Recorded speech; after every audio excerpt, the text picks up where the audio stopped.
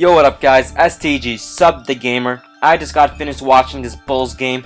They lost again, guys. Three games in a row. The series is now 1 to 3. Chicago Bulls are down. Chicago will be playing game 5 at home now.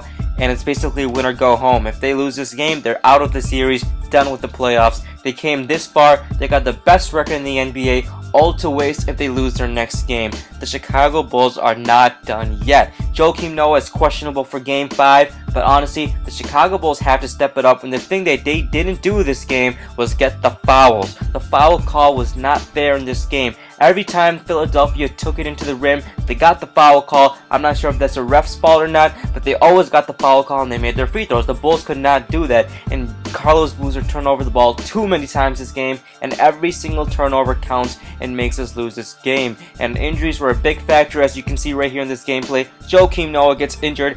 The foul attempts killed us. The foul attempts killed us. Thanks for watching this video, guys. Knicks game coming up, Lakers game coming up. Can't wait to cover those.